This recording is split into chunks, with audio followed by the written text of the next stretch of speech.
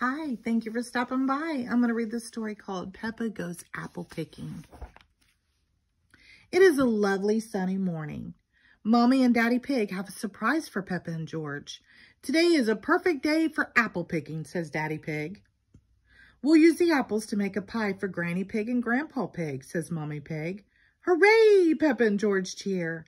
They love apples, and they especially love pie. Peppa and her family arrive at the orchard, but the apples are very high up in the trees. How will we reach them? asks Peppa. Ho, ho, says Daddy Pig. I have a trick for picking those apples. On the count of three, shake the tree, says Daddy Pig. Peppa and her family hold on to the tree trunk. One, two, three, they shout. Shake, shake, shake.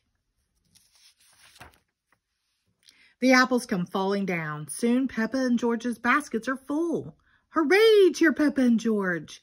Daddy Pig, your trick worked. I am a bit of an expert at apple picking, says Daddy Pig. Do we have enough apples now for Granny and Grandpa's special pie? asks Peppa. Almost, says Daddy Pig. We just need a few more from the trees at the very top of the hill. Those apples are the juiciest. Are you sure, Daddy Pig? asked Mommy. I think we have plenty of apples now, but Daddy Pig is sure. He leads them up the hill. Pep and her family shake the tree, but the apples don't fall off. Hmm, says Daddy Pig. Maybe if we shake it a bit harder. Shake, shake, shake. The apples still don't fall off. What do we do now? asks Peppa. There's only one way to reach those apples, says Daddy Pig, and that's to climb. Do be careful, Daddy Pig, says Mommy Pig.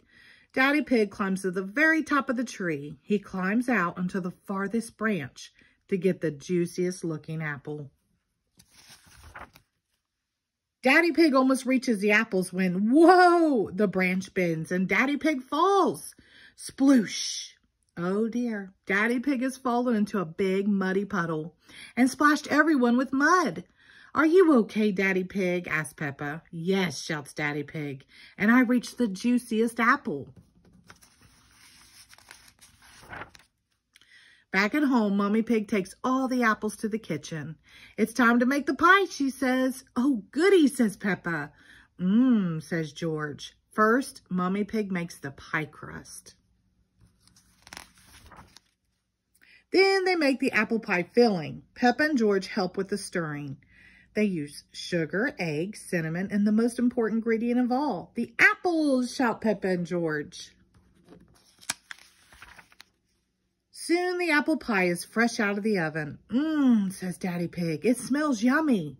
Can we eat it? Not yet, says Mommy Pig. We have to bring it to Granny and Grandpa's first. Peppa and her family drive to Granny and Grandpa Pig's house. Hello, my little ones, says Granny Pig. What's all this? Surprise, cries Peppa. We made you an apple pie. It's delicious, says Granny. How did you make it so yummy? Daddy picked the apples from the very top of the tree, says Peppa, and got us all muddy. But it was worth it, snorts Daddy Pig. Hee hee hee, what a fun day of apple picking it has been. The end.